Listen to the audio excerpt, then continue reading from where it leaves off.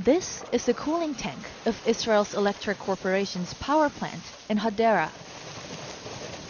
And what comes out is not just seawater, but tons of jellyfish.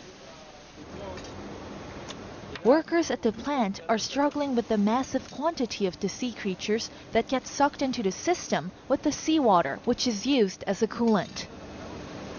The situation is so bad that entire cities could be without power if the plant fails to collect the jellyfish, according to employee Nachum Plaumbaum. When those uh, jellyfishes are coming in swarms, they're blocking our cooling system and uh, they're diffusing to be gels.